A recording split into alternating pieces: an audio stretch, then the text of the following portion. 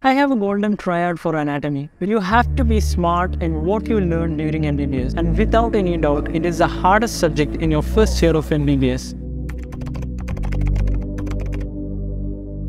Let's dissect into one of the most difficult subjects of MBBS. In fact, one of the nightmares which every MBBS student faces, from sleeping at 8 o'clock during lectures in the morning, to being a veteran in the dissection hall, to being an artist in the histology lab, Anatomy is one subject which drains the mental strength of most medical students.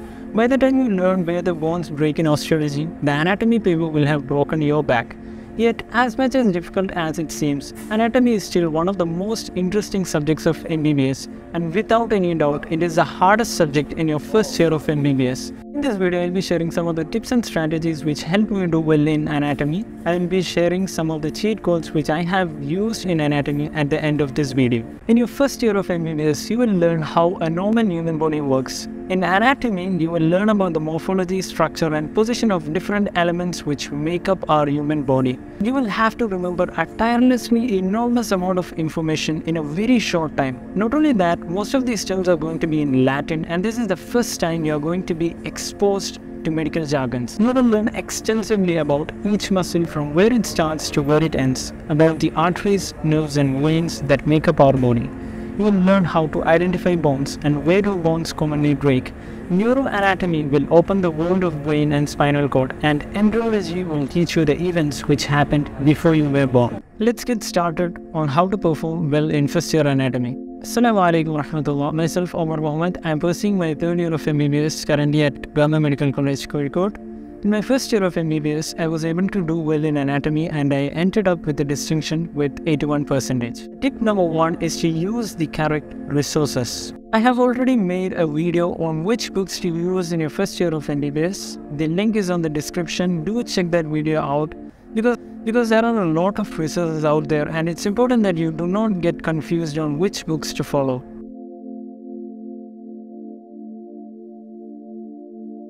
Once you have the resources, it's important to know how to use them properly.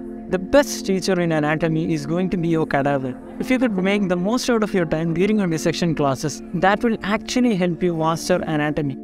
Anatomy is all about having a 3D orientation of where the structures lie, and this is not simply possible by reading textbook. If you want to have a true picture of where the elements lie inside your human body, inside your mind, you actually have to learn it from a human body itself.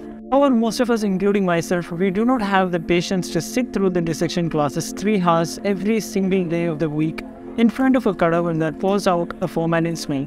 Thankfully, in this digital era, we do have lots of alternate resources which help us get through anatomy and dissection even if we sleep through the entire dissection classes. And we get to those resources at the end of this video. In anatomy, you will have to think twice before making your notes. In the beginning, we try to write down everything which is said in the lectures and answer, but soon we will realize that we start to suffer from an information overload. The textbooks are large enough that it's impossible to learn everything which is already written in those textbooks. Even if we do write all the notes, it would still be hard to go through those notes during your exam. So I would recommend everyone to think twice before actually taking down notes in anatomy. Tip number 4. Know what to know.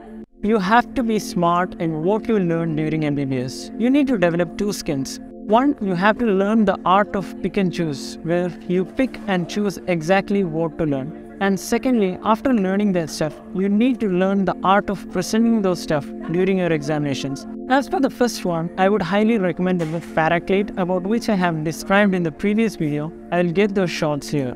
The book Paraclete created by the College Union of Calicut Medical College. This is in fact the first book which has been designed based on the new CBME curriculum. The book is filled with important topics segregated into essays, short essays, and short notes. It also covers histology, osteology, embryology, genetics, and is literally a complete guide for your first MBBS. The book is available in two volumes, one for the theory and the other for the practical. During our time, everyone used the previous edition of this book. Now the new edition has been created according to the CBME curriculum. For more details, contact the link in description. I have a golden triad for anatomy, which includes diagrams, description, and clinical importance. Try to use this triad for every possible answer during your examination. Forget writing long paragraphs or sentences. Instead, replace them with diagrams and bullet points and make sure to add a clinical importance in the end. You also have to make sure to use hematoxylin and eosin pencils for histology diagrams during your examinations. That is how you crack anatomy. For more details and tips on how to crack your first MBBS examinations, do check out this video. Should you join a coaching institute? I did not join the coaching institutes during my first year of MBBS. In fact, most students do not join coaching classes during their first year. However, with the NExT coming up, we would certainly see a rise in the number of students who are going to prepare for NExT from the first year itself. Personally, I do not think that you have to join some coaching institute during your first year of MBBS. Instead, you should focus on building the concepts by reading the standard textbooks and attending your dissection classes in anatomy. As in this video, I am now going to share three resources which help me immensely in understanding anatomy. The first one is Acland's anatomy videos.